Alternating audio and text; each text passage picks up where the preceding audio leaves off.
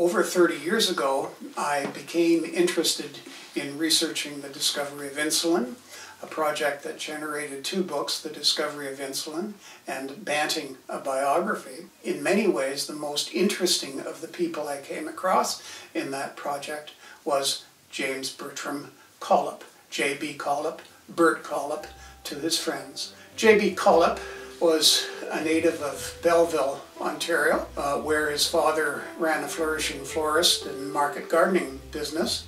The greatest adventure in Collip's life came on a traveling fellowship and to work with uh, James J.R. MacLeod, the professor of physiology at the University of Toronto, when he formed a passing friendship with Dr. Fred Banting, who had come back to the university with a strange idea for research on diabetes and the pancreas. In December 1921, Professor MacLeod invited Collip to work with Banting and Best, who had, for the last few months, been doing really interesting work on the pancreas of diabetic dogs and seemed to have discovered an extract that would enable diabetic dogs to begin functioning normally.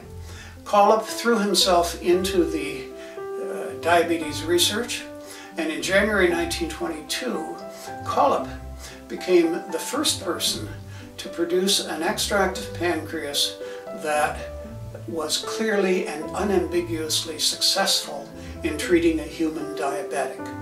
Uh, very quickly, the team called their extract insulin, Within a few months, the scientific world was astounded by the potential of insulin to restore the lives and health of children, adults suffering from type 1 diabetes. Collip uh, was a co-discoverer of insulin.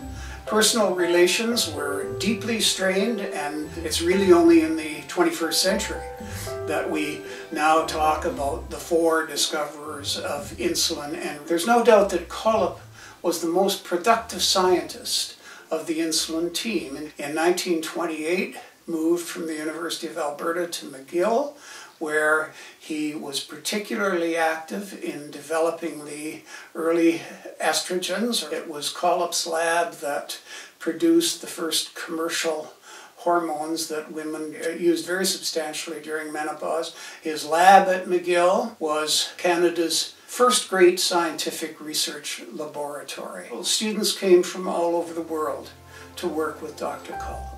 He wound down his research in World War II when he became effectively an administrator in charge of Canadian medical research. He finally wound down his career as Dean of Medicine at the University of Western Ontario from 1947 to 1961. Collip died in London, Ontario in 1965.